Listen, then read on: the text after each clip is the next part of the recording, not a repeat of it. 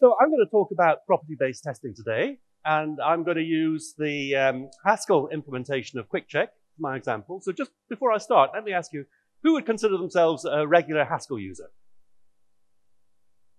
Okay, many, but a minority, I think.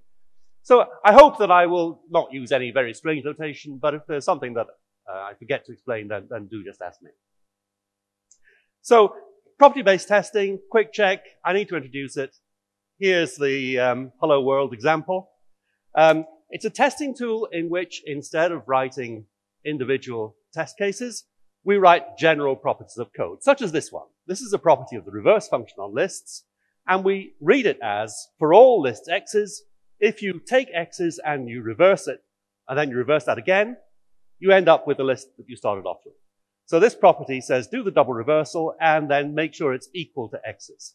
This triple equal sign, it's like an equality test, but it's for use in tests. So it generates an error message um, if these two sides are not equal. And the property itself, it's just a function that you can pass any list to uh, in order to run a test. What we do is in the Haskell REPL or uh, in a main program, doesn't matter, we call QuickCheck and we pass it this function as an argument, and QuickCheck then generates, by default, 100 random test cases, and we run the test for each of them. So this shows you what happens in the case uh, when the property is true and the tests pass. Uh, to show you what happens when it fails, I have another property, prop wrong. And this one says that if you reverse a list once, you get the list you started off with.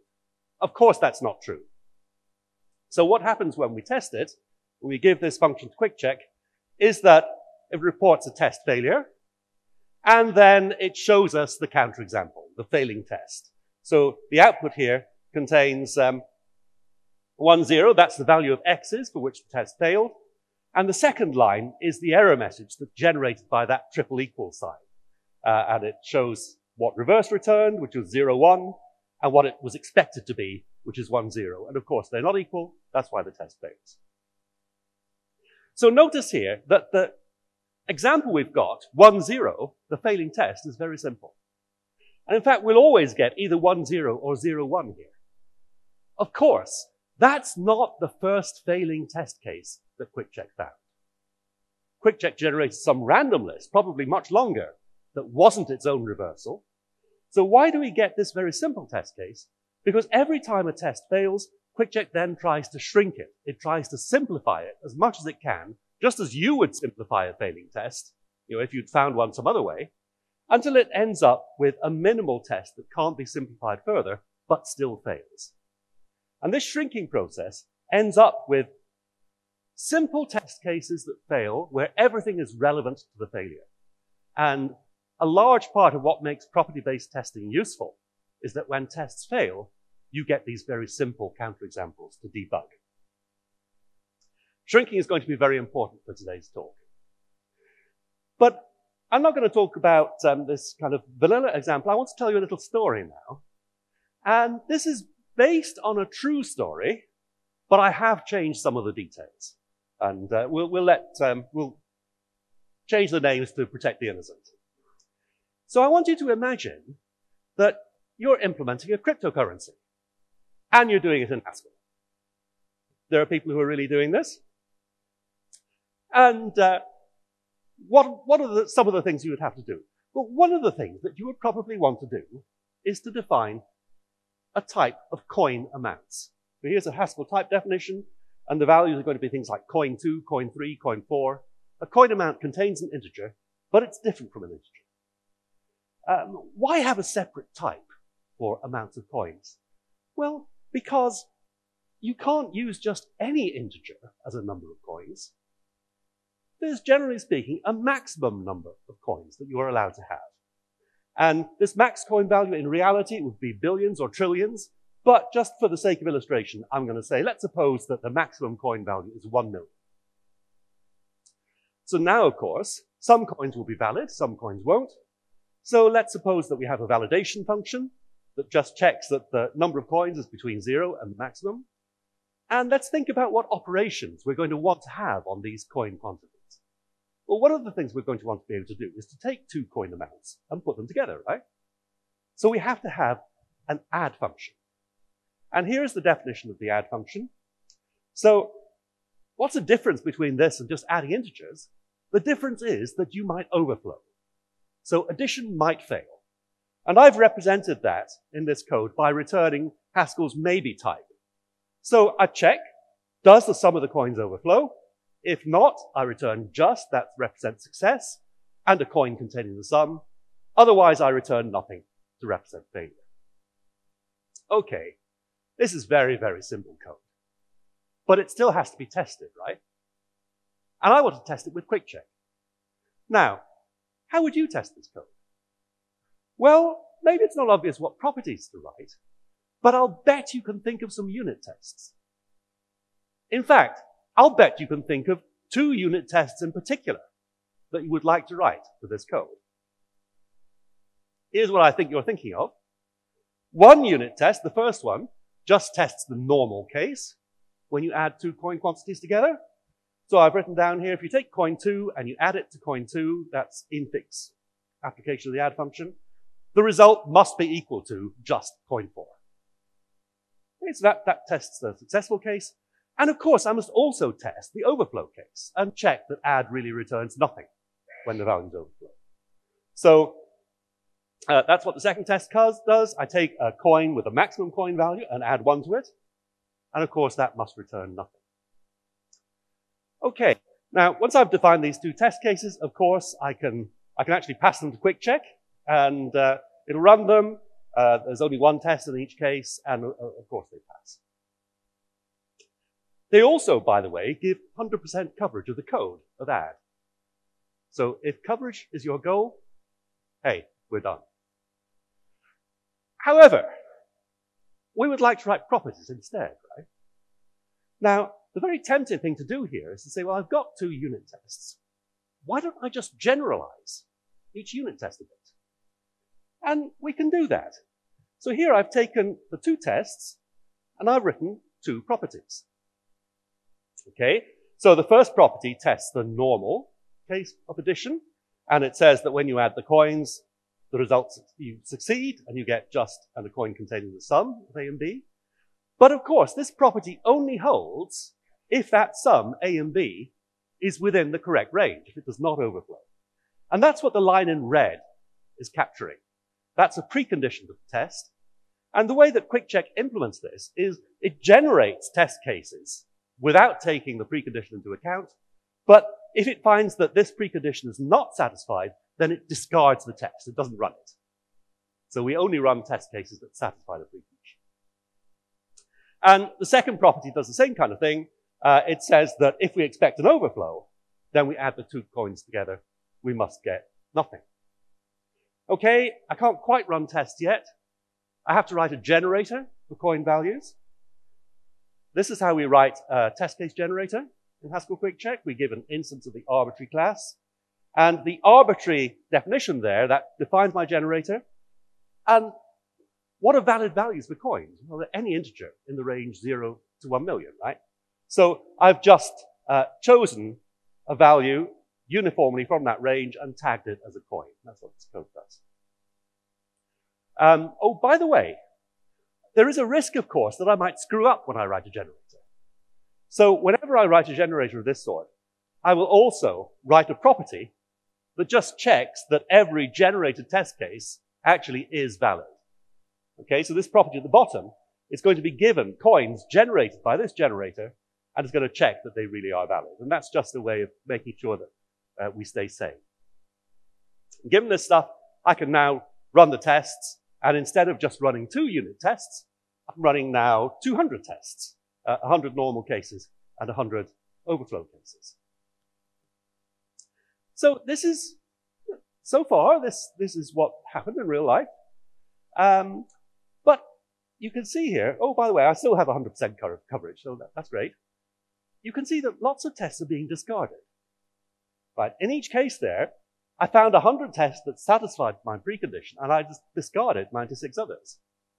So that means that the testing is not as efficient as it might be. And so the developers who wrote this code thought, well, we don't want to be discarding so many tests. So let's instead, oh yeah, why are we discarding them? We're discarding them because of this precondition that's written there. So let's instead define a new type of normal test cases. Okay, the type definition just says that a normal test case contains two coins. But we'll define this type so that there's an invariant that the two coins in this type always make up a normal test case. And that will mean that the precondition will always be true, so it won't discard tests anymore. And how do we do that? Well, we have to write a custom generator. Here we are. There's a bit more code here. What's this doing? Well, first of all, it's choosing coin A arbitrarily using the previous generator, but then it's choosing B very carefully to make sure that the sum of A and B will not overflow, and then just packaging them up into a value of the normal type. So once I define this generator for normal types and rewrite the property to expect a normal type, then when I test the property, all the test cases will pass the precondition and testing will be more efficient. And so the developers did this for the normal case and the overflow case. So let's just think about the code that we have to write to do this. We have to define a new type, this normal type for normal cases. We have to write a custom generator. There it is, where we choose B very carefully. We have to do the same thing for the overflow cases and a different custom generator where I've chosen B differently to ensure that I get an overflow. By the way, I'm now generating test cases without using the first generator I wrote to generate the second coin. That means those second coins might not be valid. So I also have to write some properties to check that both coins in each case actually are valid coins. You might think, this code is so simple, it's not necessary to write those properties. Well, I'm glad I did, because when I tested the overflow one, after 900,000 tests, I found it can generate this test case, in which the first coin is zero and the second is a million and one. How come I've generated an overflow case with a million and one, which is not a valid coin in? Well, let me tell you this. If you're going to generate a pair of coins which when added together must overflow, you better not choose the first one to be zero. Because if you do, you've painted yourself into a corner. There's no valid coin you can construct that when added will give you an invalid coin. And I, of course, I haven't done that. So it's important to do these, these tests on the generators. And so if you think about it, we, I started off with a unit test. I generalized that into a property, which is quite easy to do. But to make it efficient, I had to define a custom data type. I had to write a custom generator for that data type. I had to write tests, a custom validator for that data type to make sure that I'm still generating valid test data. It's quite a lot of work. And I had to do this, not just for one unit test, but for both. And if I was starting from more unit tests that my intuition tells me I should write, well, I have to do this again and again and again. It's a huge amount of work. And what's more, I'm always going to face this question. Well, are the generators that I write correct? They're kind of tricky code. I've now got many copies of my property. Are they consistent? If somebody changes the code and changes one property, will they remember to change the others? I've got a lot of different generators for different cases. Do they cover all the cases together? Or are there some that are covered by no generator? To figure that out, I have to reason about a bunch of different generators. And I don't like reasoning. I like to let QuickCheck do my thinking for me. But here I have to do an awful lot of thinking. So I've written a lot of code whose correctness is not obvious. And worst of all, none of it is reusable. Next time I have an idea for a property, I have to start again at the beginning. So this really wants to make my, make me, it makes me want to tear my hair out it just seems the wrong thing to do. So what should we do instead? One property to rule them all. I want to take all of my unit tests and combine them into a single property. So here's what I suggest for testing addition. let's just write one property, no preconditions, that adds together any two coins, and then checks to see if I were just, just to add the numbers, would I get a valid coin as a result? If so, then I should get just that coin. If not, then I should get nothing. So this, this code clearly can test any possible case. It covers all of the cases. Um, and you get 100% coverage from this too, but it's much, much simpler. Okay, but you may be wondering now, have I really captured your intuition? Those two unit tests that it was obvious we should write. Well, sort of, but here's a question. This property clearly can test both combinations of normal cases and overflow. But does it? There's a possibility, because there's only one property now, that all the generated tests were the normal case. Or all the generated tests were the overflow case. We don't know anymore. So that doesn't quite correspond to the intuition. So what should we do? Should we go back to multiple properties? No. What we should do instead is label the tests. This is something that QuickCheck has supported for a long time. So I've added that red line of code to the property, just saying I want to label the test case with a string computed by this summarization function. What does summarize do? Well, it just looks at the sum of A and B, and it decides, are we in the normal case or the overflow case? And then returns the corresponding string. When you label a test case like this, then QuickCheck will display the distribution of tests we actually ran when we finished testing. So in this case, uh, more or less 50% of the tests are normal, and 50% are overflow cases. That's probably all right. So I'm happy. So this is the way that one should use one's unit test intuition to label test cases and see how often each unit test idea is being used. Okay, do we have any more intuition, I wonder, about the tests that we would like to run on add? Well, how about this? The add function essentially enforces a boundary, doesn't it? A boundary between the normal cases and the overflow cases. Is that boundary in exactly the right place? If you were writing tests by hand, you would probably write some tests that fall either side of the boundary, just to make sure that it's in exactly the right place. Correct? Was that intuitive? So, how will I um, use that intuition now to improve my testing? Well, it's a unit test idea, so I won't change the property. I'll just change my labeling function. Let me label all the test cases that are within two of um, you know, the, the boundary as boundary cases. And let's just see how often they get generated. Da-da! Wait a minute. I ran 10,000 tests. There was not a single boundary case. Oh dear. So intuitively, it's important to test this boundary. And my property, despite running a huge number of tests, has entirely failed to do so. So my testing is nowhere near as good as I thought it was. So what can I do then? Well, let's think about how we are generating coins. I put this generator up. I said, you know, the range is zero to a million. We'll just choose something in that range. Nobody objected.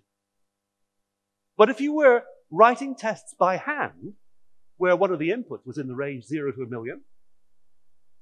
This says any number is as good as any other. Is that how you would work? Or are there some values that you would be careful to make sure you test? So, common testing practice is to say, well, if you can input a range of values, make sure you test the first and the last one. Make sure you test values at least close to the boundary, the extremal cases. This generator doesn't do that. This generator assumes that one number is as good as another. So maybe what I should do instead is generate like this. So here what this code does is, first of all, I choose a non-negative number n, and um, the, the default QuickCheck generators choose fairly small numbers. So n will be a small non-negative number. And then I'm going to generate my coin by choosing uniformly between three alternatives. The first alternative is just to return this small number. This will give me values close to the lower end of the range. The second alternative is going to be to return the max coin value minus that number. This is going to give me test cases close to the upper end of that range. And the third case, I'll still do what I was doing before. So it's also interesting perhaps to try any number in the whole range. So let me just include that as a possibility. So this is probably a better way to generate coin values anyway. But what's more, I want to, when I add two values together, I want to get more boundary cases.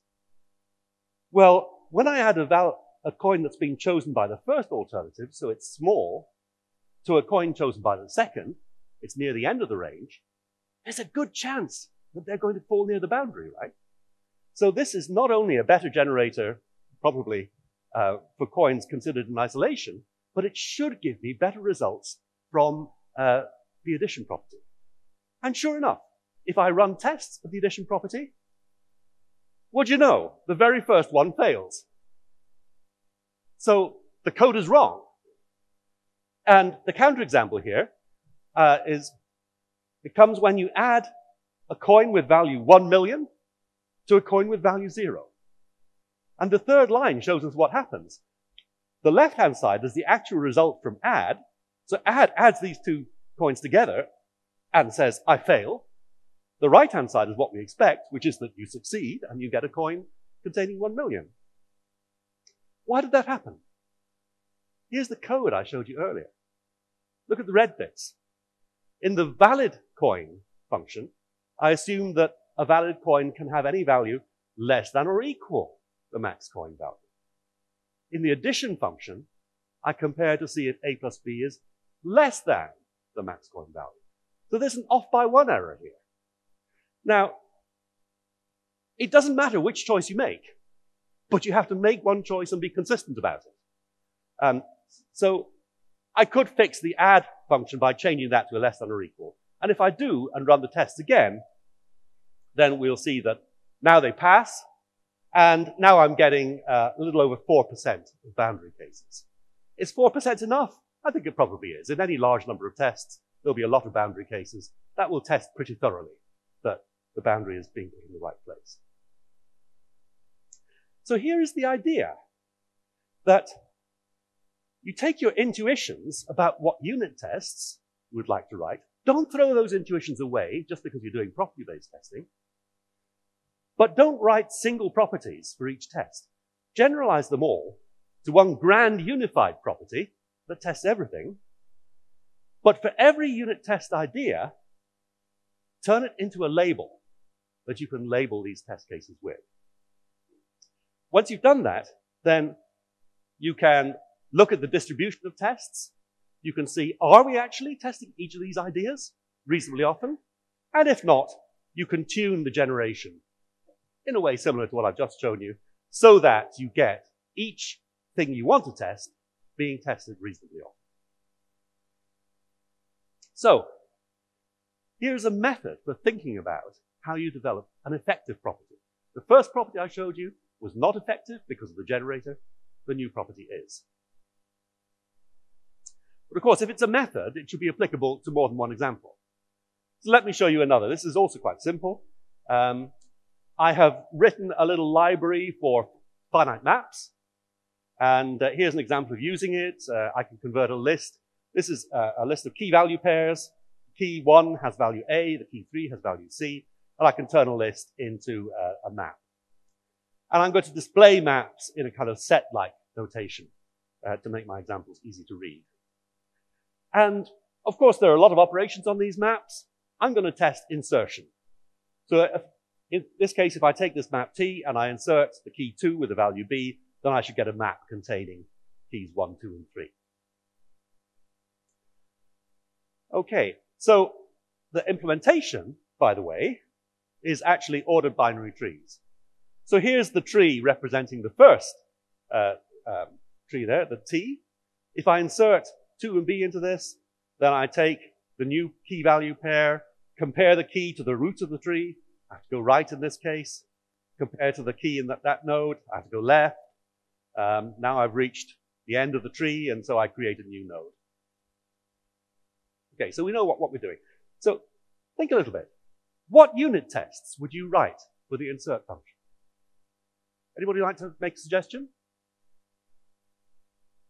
What cases do you want to cover?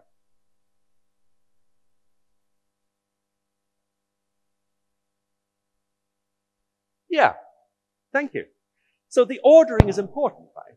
I'm going to focus on that to begin with. Um, I'm going to want to test smaller than the keys in the tree, larger than, somewhere in the middle. I feel I should have a test for each one of those. So that's my first intuition. So let me start working on a property here.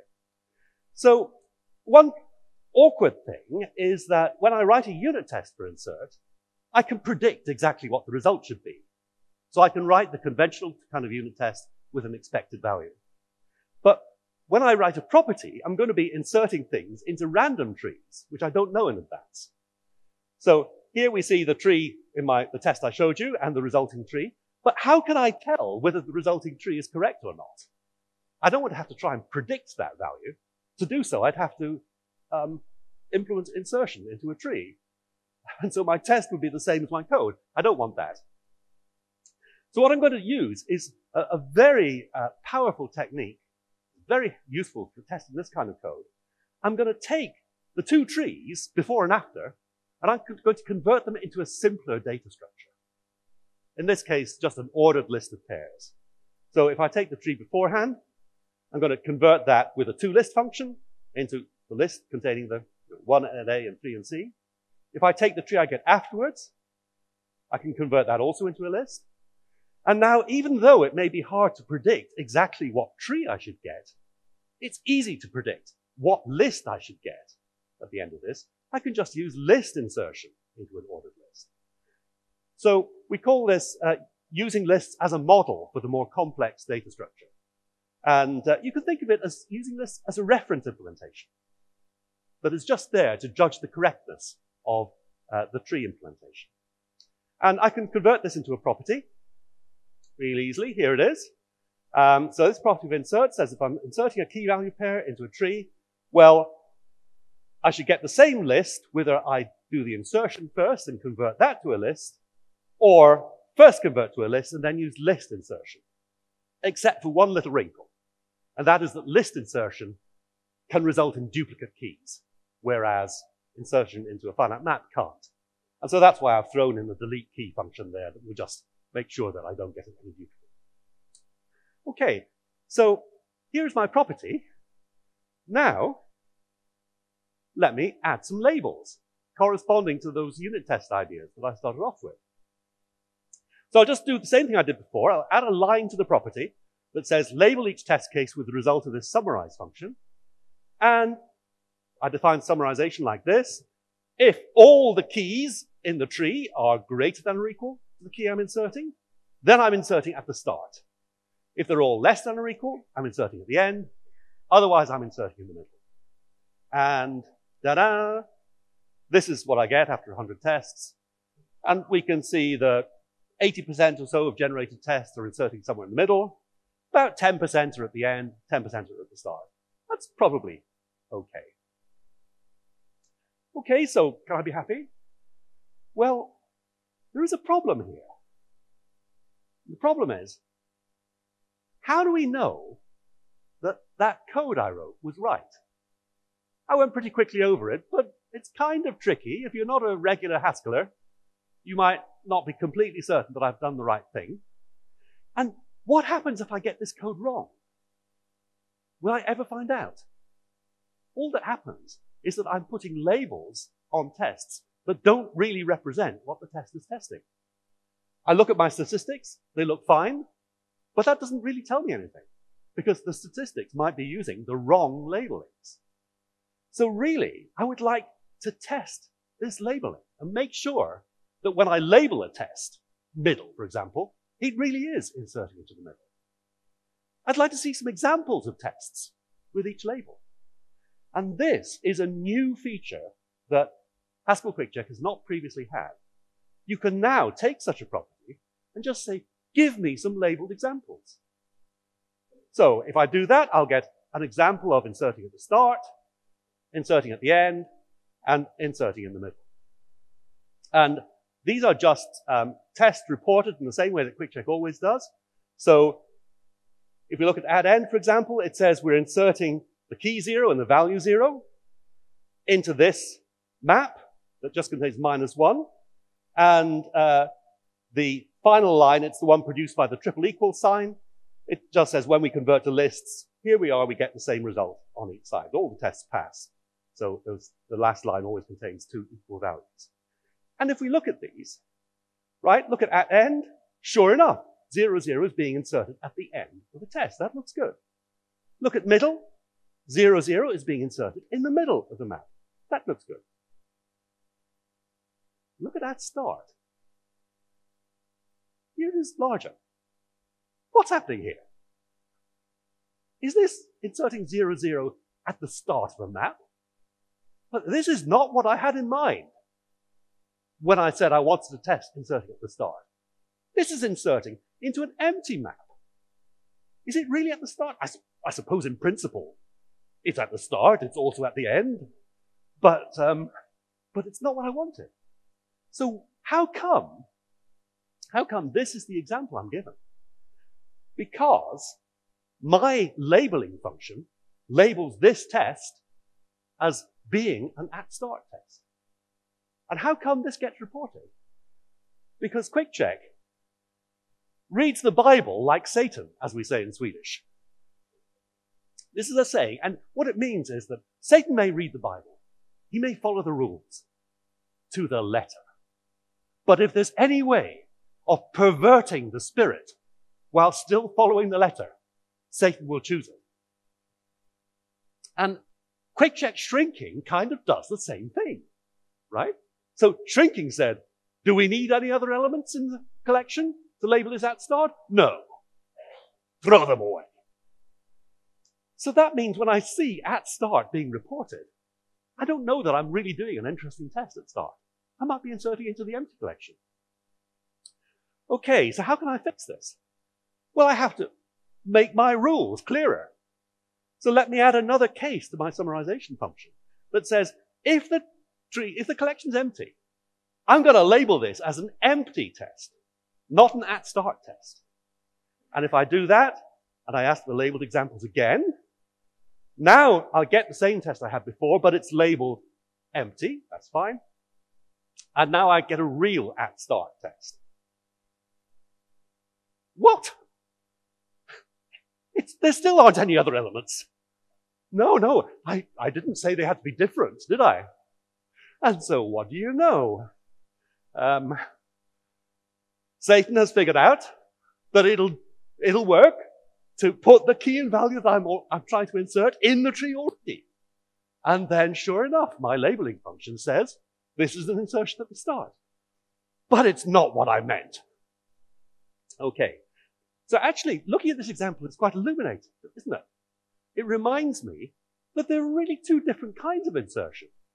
There's insertion that inserts a new key, and there's an insertion that updates the value associated with an old key.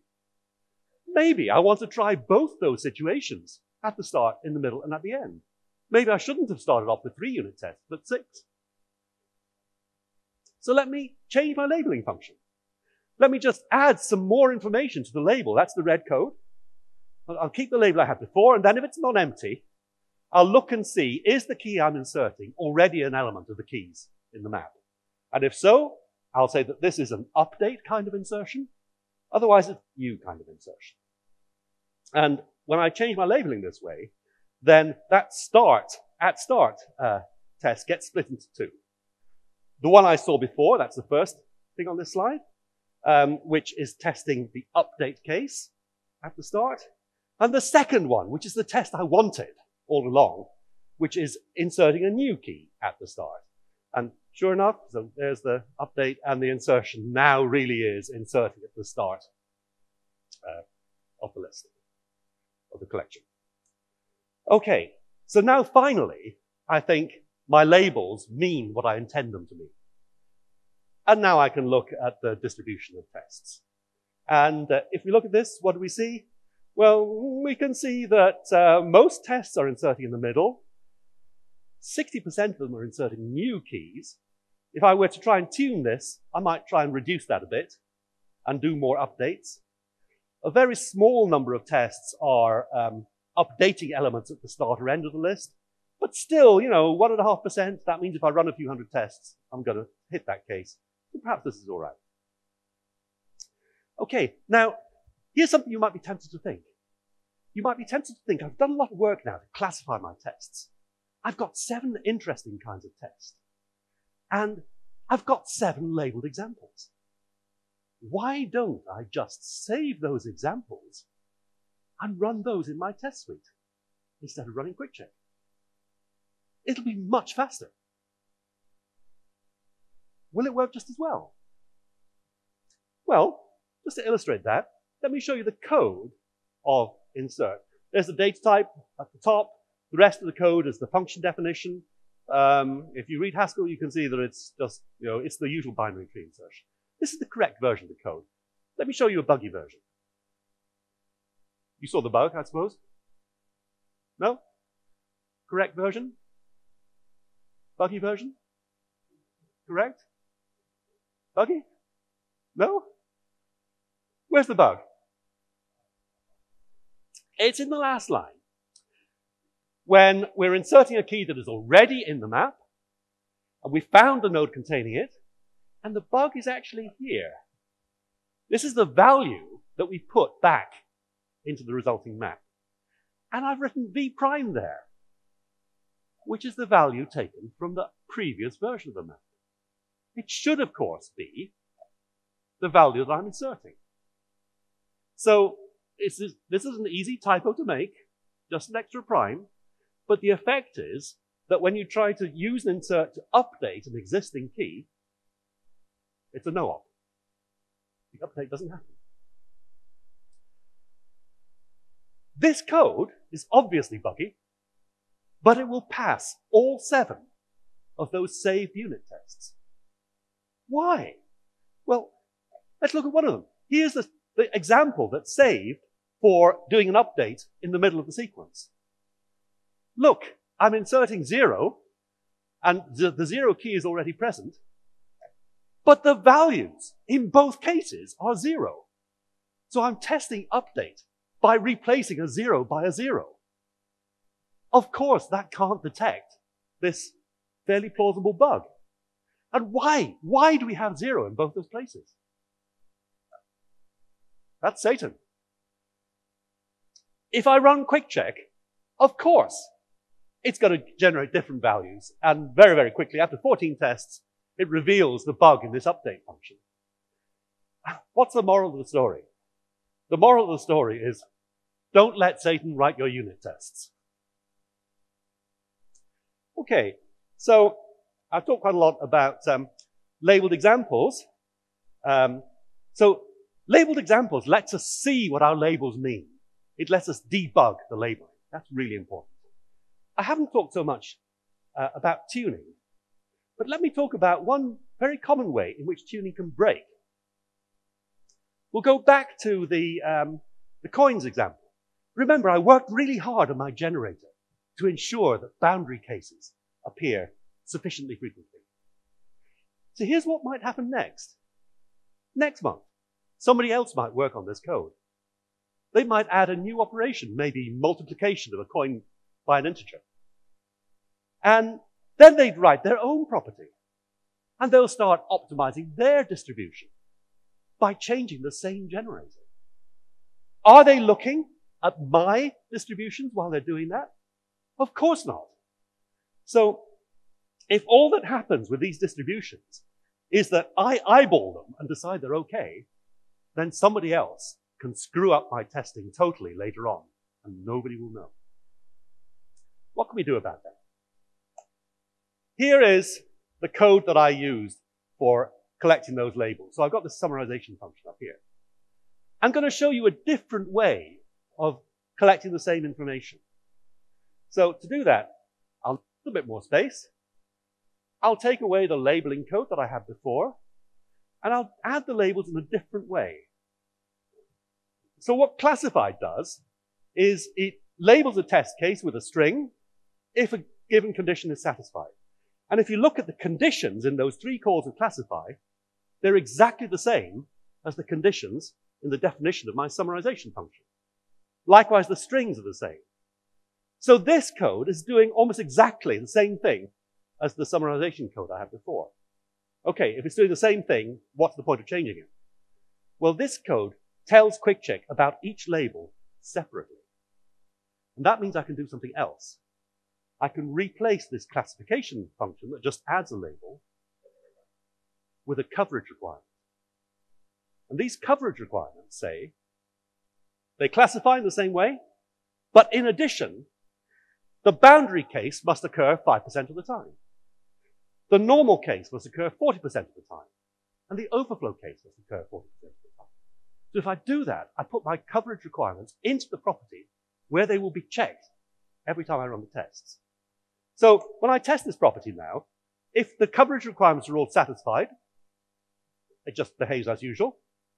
But if there aren't enough of a particular kind, I get an error message. There we are. You see, this time I got only 4% boundary cases. I expected 5%.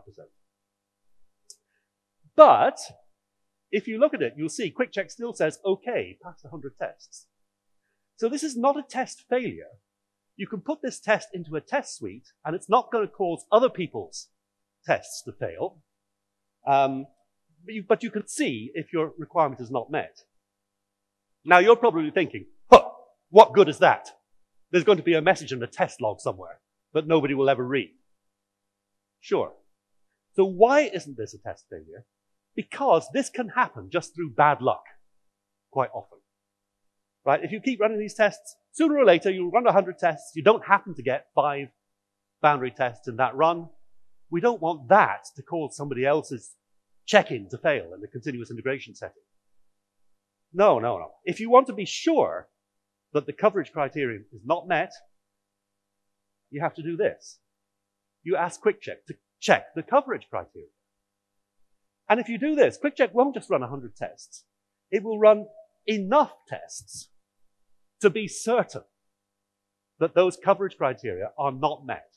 So this is a failure. If somebody screws up your generator, when this test that checks coverage is run, it will cause the test suite to fail. And as you can see, we had to run, in this case, 51,000 tests to be able to say we are not getting 5% boundary cases, and that is a statistically significant result. Now, what do you do when this happens? Well, you might now change the generator to get boundary cases more often. Perhaps that's the obvious thing to do. Or you might say 5% was a bit arbitrary anyway, maybe 4% is okay.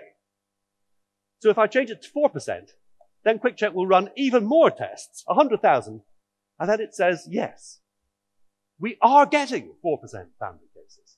We know that. We're confident. It's statistically significant. Now, the reason I had to run so many tests is that I chose a requirement that was very close to the actual number. Uh, we can make life easier for QuickCheck as well. If it's enough to have, say, 1% of boundary checks, then since I actually get far more, QuickCheck will be very quickly satisfied that um, you know, we're getting enough boundary tests. If I say I want 10% boundary tests, which I'm obviously not, then once again, QuickCheck will be able to very quickly determine that we're not getting this number of boundary cases and cause a test failure. So this check coverage thing, this is something that is very new in Haskell QuickCheck. Uh, I think it's really important. How can you figure out how many tests you need to run? You have to read this paper from 1943. And this paper, when it came out, it was immediately classified because it was so important for the war effort. This is military grade statistics. But luckily, you don't have to read it because we have. And QuickCheck knows how to do this. But there's still one question we have to ask ourselves. Whenever you draw a statistical conclusion, you need a certain confidence level, right? So, you know, psychologists, if they can draw a conclusion with 99% confidence, that's great. But what does 99% confidence mean? It means you'll be wrong 1% of the time. So this, these check coverage tests, they may be wrong sometimes. So we need to think about how often is it okay for a test in a test suite to fail when there is no bug? While you're thinking about that, I just want to show you a quote from Agile Borat, my favorite tweeter. I can't do the accent, but he says, my friend Azamat is a very good developer. He has always have all unit tests green. If unit testers fail, it is removed. Is best practice. But you know, Agile Borat is right. There's a name for tests that fail occasionally. They're called flaky tests. So if one of these coverage tests fails the first time, maybe somebody will spend a few days investigating. And they'll conclude, actually, there was nothing wrong. What's going to happen the second time that test fails? It's just going to be deleted. But those tests are important to prevent properties losing their effectiveness. So how often is it okay for a test to fail when there is no bug? Here's my claim. Never in the lifetime of the project. So what confidence level do we need? One in a million? Suppose you've got 100 developers. Suppose they each run the test suite 10 times a day. That's 1,000 runs a day. Suppose the test suite contains 100 coverage properties. That's 100,000 tests a day. If we use one in a million as our confidence level, this bad thing is going to happen every 10 days. That's not acceptable. So QuickCheck uses 10 to the minus 9. We're more like particle physicists here. And maybe that's enough. Maybe 10 to the minus 12 might be better. I'm a little open about that at the moment. But nevertheless, that, that thing, you can change it, but 10 to the minus 9 is a good default if the project is not too large or too long-lived.